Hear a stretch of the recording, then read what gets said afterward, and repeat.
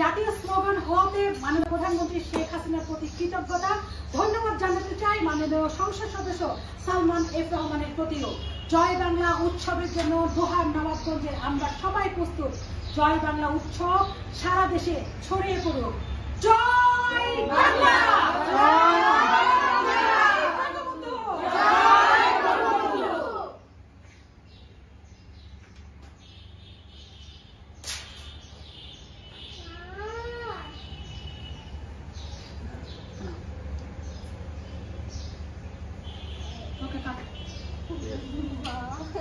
Join us.